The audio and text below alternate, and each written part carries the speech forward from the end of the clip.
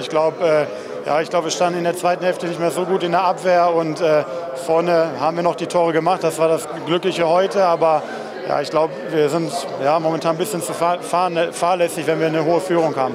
Ja, weil wir gedacht haben, der Sack ist schon zu und äh, dann ein bisschen runtergefahren haben von der Konzentration und Intensität.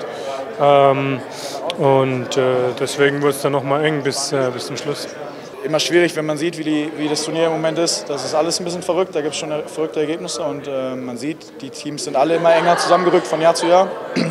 Von daher ist es, ist es immer kein Selbstläufer weiterzukommen. Da müssen wir uns jetzt schon drüber freuen. Ähm, wir müssen uns natürlich aber auch in, äh, in, in, so Phasen, wo es vielleicht mal nicht läuft, äh, da müssen wir einfach äh, abgezockter sein.